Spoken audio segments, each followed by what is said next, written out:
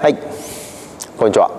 テニスライズの河合です、えー、今回は、えー、片手バックハンドストロークのパワーの、え出し方ですね。を少し絞って紹介をしていきたいと思います、えー、実際片手のバックハンドでパワーが出にくいという方は多くいらっしゃると思いますけれどもやはりラケットをうまく回してあげることによってボールのパワーを出す、えー、極端に言えばラケットをできるだけ長く使う。ということが重要になってきますで、えー、どうしてもバックハンドの場合片手の場合特にですね、えー、不安定に片手ですからなりやすいんですけれどもある程度安定感が出てきた方え、安定感が出てきた方はそこからよりパワーを出すためにですね、え、ラケット自体を少し長く使うということを意識して練習をしてあげることで、え、ボールをより飛ばすことができるようになります。でこれは、えーよくあるのはラケット面をですね縦に振るということが安定感としてはえ重要になってくるんですけれどもある程度これだと距離はラケットの長さ的には使ってないわけですね。でそれを距離をこのラケットの長さを使うということに関してはある程度距離を遠くしてあげて大きく横に振ってあげる。ラケットヘッドを少し大きく横に振ってあげることによって、えー、ボールを遠心力で飛ばすようにできるようになってきます。でここのポイントとしては遠くに振ろうとする時に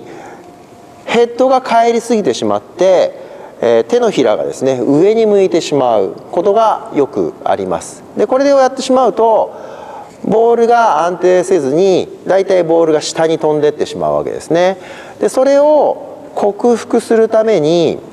えー、フォアハンドとパームアウトと言いますけれども、えー、片手の場合片手のバックの場合は今度は自分の手のひらを内に向けながら返してあげる。ですね。要は手のひらを打ちたい方に向けてしまうと開いていってしまうので手のひらを自分の方にずっと向けた状態のまま返してあげる。という動き。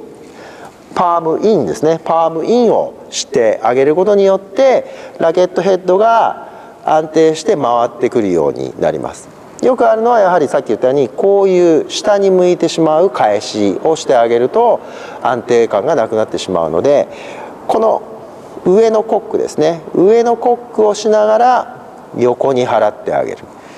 この上のコックの上げを使いながら横に払っていくというふうにしてあげるとフィニッシュ自体は今度はラケットヘッドが回ってラケットの面がですね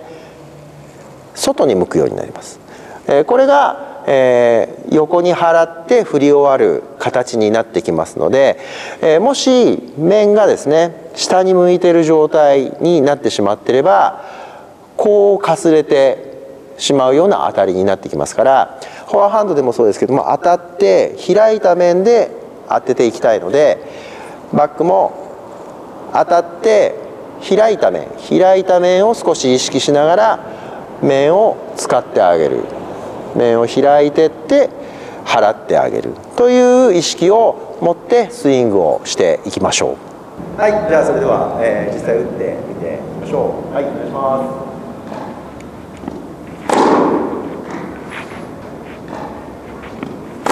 少し横目に打点を置いてここに払ってあげる。